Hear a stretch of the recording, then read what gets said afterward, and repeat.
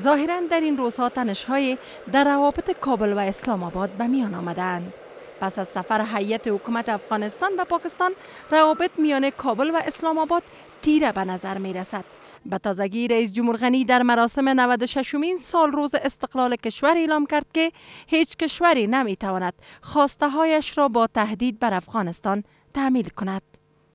خواستیم همه بدانند که کسی نمی تواند خواسته های خود را با تهدید بر افغان ها بقبولاند. کمیسیون امنیت داخلی مجلس نمایندگان می‌گوید که رئیس جمهور غنی در برابر خواستهای بیجای پاکستان از هیئت افغانستان این واکنش را نشان داده است گفته های رئیس جمهور عکس العمل است در برابر اخلاص و صداقت پاکستان و نسبت به نظریات سویی که در مورد مردم افغانستان دارند در رابطه به از هست که هیچ کشوری نمی‌تواند خواستهای خود بر کشور دیگری تحمیل بکنه بنان حتما پاکستانی ها خواست های نامعقول و نامشروعی را می‌خوان بر دولت افغانستان در رابطه با صلح و مذاکره و هم یک امتیاز من حیث یک امتیازگیری مطرح بکنن ما با جغرافیای جنگ تغییر بتیم و این تغییر نباید تغییر در داخل خاک افغانستان باشه. این تغییر باید برون از مرزهای افغانستان باشه و گزینه هایی که افغانستان روی میز داره برای عدالت خواهی با گروه های اقلیت در پاکستان می‌تونه یکی از گروه های، یکی از گزینه های باشه تا دولت پاکستان متحد به ای بسازه که دیگر در مسائل داخلی افغانستان مداخله نکنه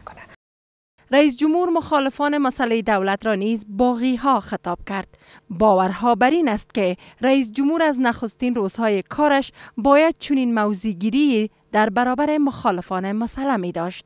رئیس جمهور افغانستان چی رئیس جمهور فیلی یا رئیس جمهور گذشته باید سالهای قبل در برابر کسایی که در همراه نیروهای امنیتی افغانستان می جنگند موقف جدی می‌گیرد و آنها را باقی می‌خوان. نه برادر.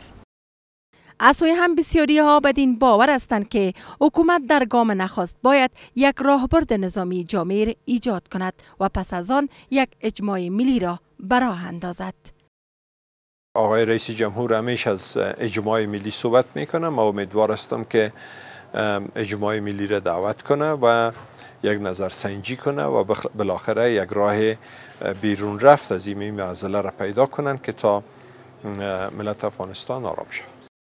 با وجود تلاش های حکومت وحدت ملی برای نزدیکی هرچه بیشتر کابل با اسلام آباد چنین پنداشته می شود که اکنون سایه به اعتمادی بر روابط میان دو کشور بیشتر از پیش چیره شده است. چنانکه آگاهان به نتایج سفر اخیر هیئت افغانستان به پاکستان هم چندان خوشبین نیستند حکومت وحدت ملی کوشیده است که در ماههای اخیر دو کشور در کار مبارزه با هرس افغانی اما هنگتر عمل کنند تلاشهایی که به باور آگاهان با عمله های اخیر عراس افغانانه در پایتخت به بنبست انجامیدند.